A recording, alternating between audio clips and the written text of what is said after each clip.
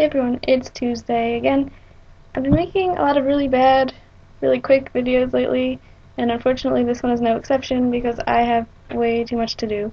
I have about 150 pages of this lovely book to memorize by Thursday.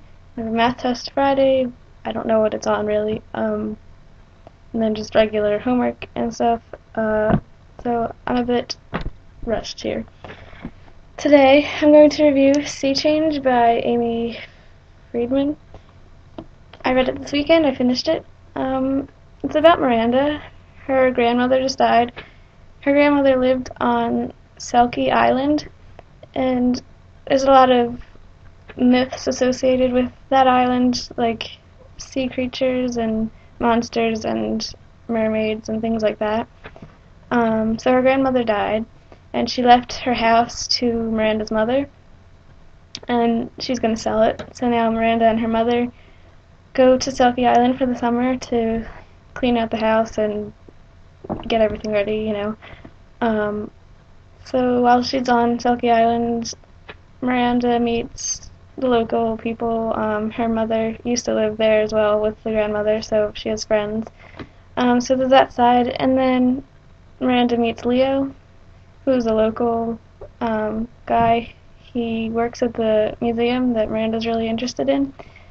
Um, but then she starts to think there might be more to him than there seems, perhaps related to one of the myths.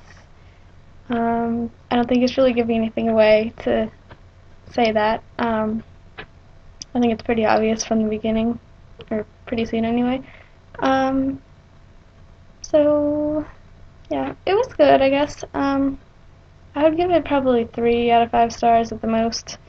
Um, maybe a little less. It was a really quick read.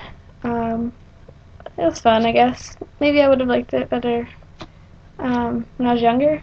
I don't know, maybe. But you should check it out because you might really like it. You never know. Sea Change by Aimee Friedman. The cover is pretty. It's shiny. You can't really tell in there. Um, but yeah, so sea change. Uh, and that's it. Sorry, this is bad, but I need to do other things. Bye.